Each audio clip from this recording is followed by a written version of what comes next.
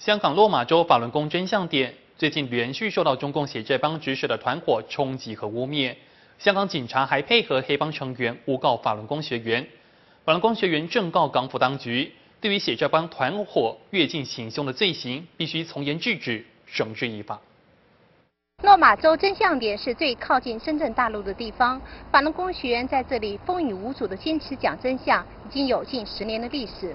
他们希望将法轮大法的美好带给香港市民和大陆游客。但一个多月来，这个真相点遭到亲共团体香港青年关爱协会侵占。对方不仅持刀恐吓学员和记者，七月二十六日在悬挂大量污蔑和攻击法轮大法和法轮大法创始人的横幅，持续至今。其中头领林国安还讹称被打，诬告一名劝善的法轮功学员。我就呃善意劝他，请你不要这样做啊，你这么做对你不好。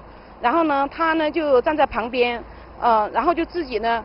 就很呃，就睡到地上去了。他就装作说我打他，他不起来。在场的落马州警员目睹杨小兰没有打人的情况下，仍然以袭击罪强行拘捕，更一度出动手铐，令杨小兰当场气得昏倒过去，不省人事。因为我曾经在中国大陆被非法关押了 六年，我一听要说又要把我关起来，啊，我当时一下子就晕倒了。